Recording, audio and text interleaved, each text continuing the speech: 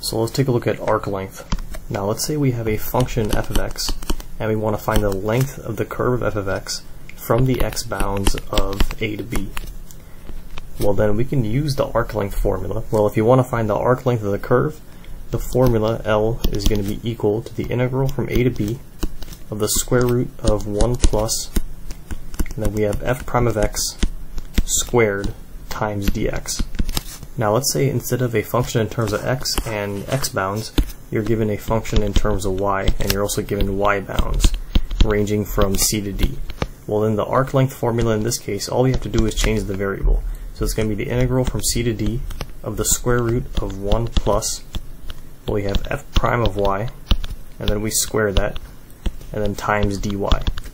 So for these next set of problems, let's go ahead and find the length of the curve. So for number one, we have y equals 1 plus 6x to the 3 halves power, and our x bounds are from 0 to 1. Once again, we are given a function in terms of x, and we're given x bounds as well. So the formula is going to be the integral from a to b of the square root of 1 plus f prime of x squared, and then times dx. So filling out the formula here, it's going to equal the integral. Now a and b are just our bounds, so our lower bound is 0 is a, the upper bound 1 is going to be b. So we have the integral from 0 to 1 of the square root of 1 plus. Now if y equals 1 plus 6x to the 3 halves, then the derivative f prime of x is going to equal, well the derivative of 1 is 0, derivative of 6x to the 3 halves, we're just going to use the power rule, is going to be 18 over 2, which is 9, and then times x to the 3 halves minus 1, so 9x to the 1 half.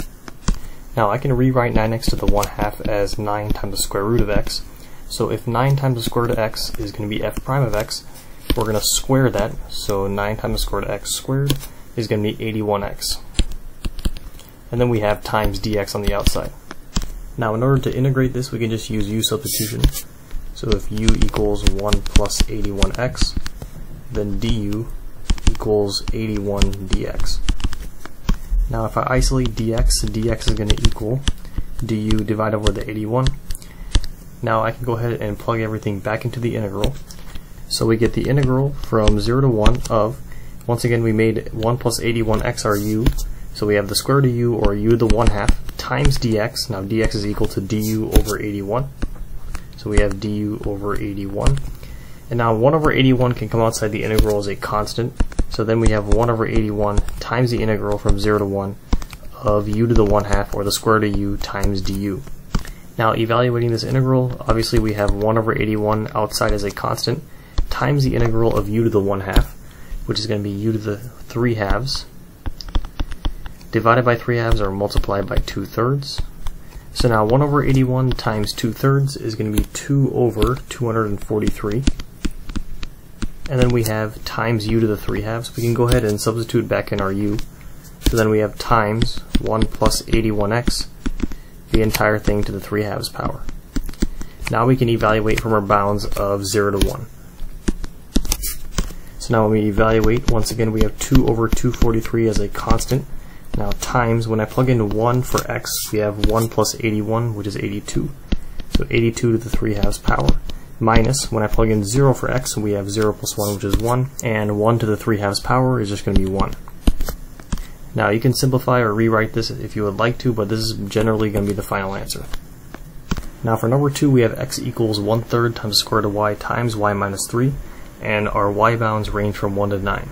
So realize our equation is in terms of y and we're given y bounds, so we have to use the formula where the arc length equals the integral from c to d, once again those are our y bounds, of the square root of 1 plus f prime of y, our equation, or the derivative of our equation in terms of y, squared, and then times dy. So let's go ahead and fill out the formula. The length is going to equal the integral.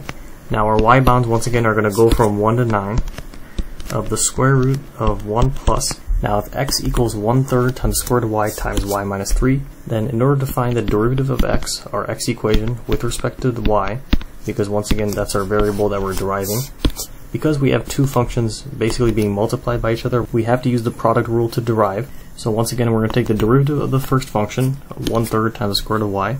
So 1 third is just a constant, and the derivative of the square root of y is going to be 1 over 2 times the square root of y, times the second function unchanged, so times y minus 3, plus the derivative of the second function, well derivative of y minus 3 is just 1, times the first function unchanged. So 1 times 1 third square root of y is just going to be 1 third times the square root of y. Now simplifying here, we have y minus 3 on the numerator, over, we have 6 times the square root of y on the denominator, and then plus, we have the square root of y over 3. Now I'm actually going to go ahead and combine these two fractions, so in order to find common denominators, the common denominator in this case is going to be 6 times the square root of y. So I'm going to multiply the second fraction, both the numerator and denominator, by 2 times the square root of y.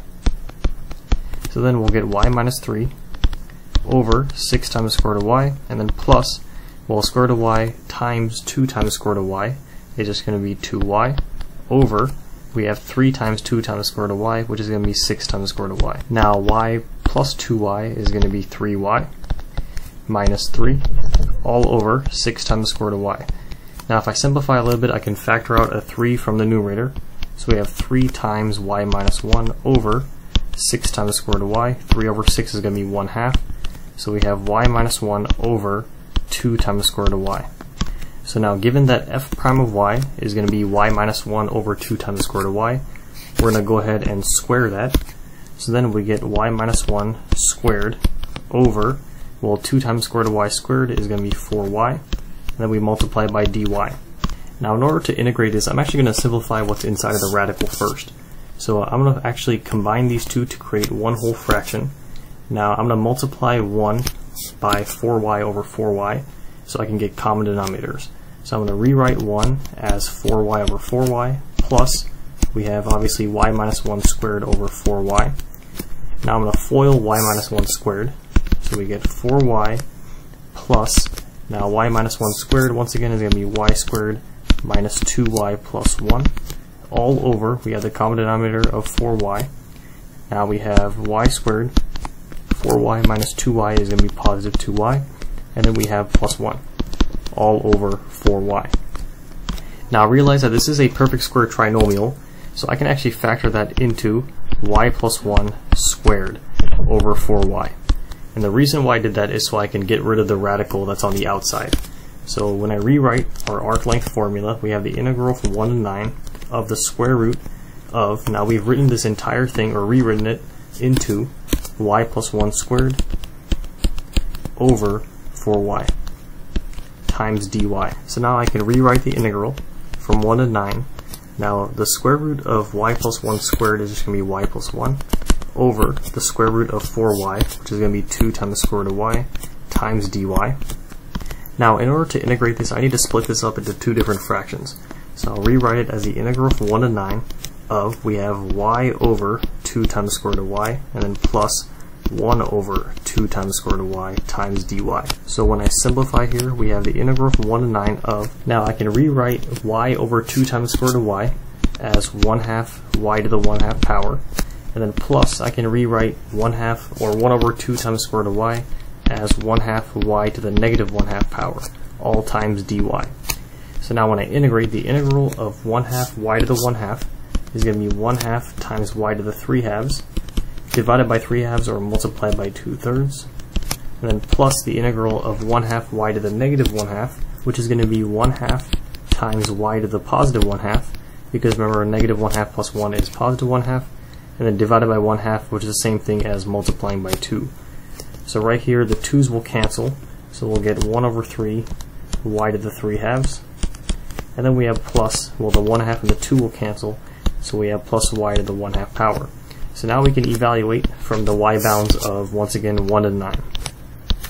Now when I plug in 9 for y, we get 1 third times 9 to the 3 halves. Now 9 to the 3 halves is 27 and then we have plus 9 to the 1 half, which is going to be 3. And then minus, when I plug in 1 for y, we have 1 third times 1 to the 3 halves, which is going to be 1 third. And then plus 1 to the 1 half, which is just going to be 1. Now, 3, 1 third times 27 is 9. 9 plus 3 is 12. So we have 12 minus. Now, 1 third plus 1, or 1 third plus 3 over 3 is going to be 4 over 3. Now, in order to find common denominators, I can rewrite 12 as 36 over 3. So then 36 over 3 minus 4 over 3 is going to give us our final answer of 32 over 3.